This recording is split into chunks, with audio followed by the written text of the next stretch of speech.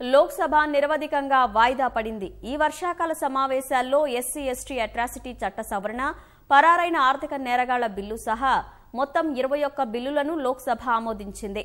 నిరుడి కంటే ఈ ఏడాది వర్షాకాల సమావేశాలు చాలా నిర్మాణాత్మకంగా సంతృప్తికరంగా సాగినట్లు సభాపతి సుమిత్ర మహాజన్ తెలిపారు. గత నెల పద్దెనిమిదిన వర్షాకాల సమావేశాలు ప్రారంభం కాగా ఈ సమావేశాల్లోనే ప్రతిపక్షాలు ప్రతిపాదించిన అవిశ్వాస తీర్మానం వీగిపోయింది లోక్సభ ప్రజల ముందస్తుగా స్వాతంత్ర దినోత్సవ శుభాకాంక్షలు తెలిపింది को भी स्वतंत्रता की हमारी अग्रिम शुभकामनाएं दे देती हूँ the house stands adjourned